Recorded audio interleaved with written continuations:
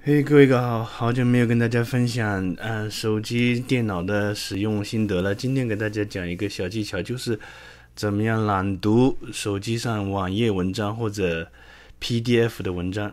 嗯，我们来看一下啊，比如说我们这个手机是这样的，我们在看这个网页新闻哦。但是有的时候我们想把它读出来，那怎么办呢？有没有什么办法呢？有，嗯，读出来。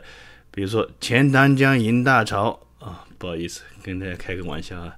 那怎么样让手机读出来给你呢？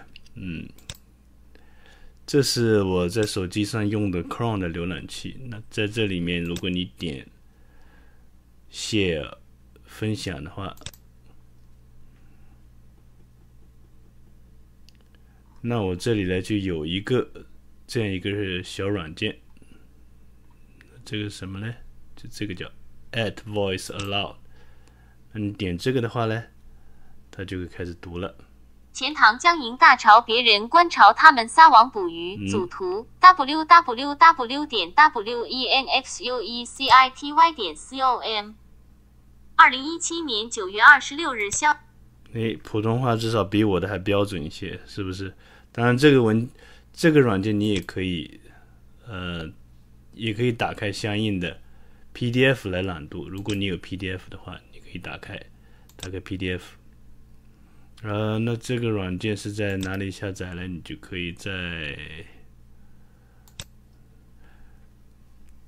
在这个里面，这个你搜索这个文件就行了。好，安装好了以后，记住了，在网页里面用 Share 或者直接打开 PDF 就可以了。好容易吧？谢谢各位。欢迎您订阅我的频道，我会分享更多关于手机和电脑的使用小技巧、小方法。当然，如果你有任何问题，欢迎提出来，或者如果你有什么题材上方面的建议，我也跟你一起研究。谢谢各位。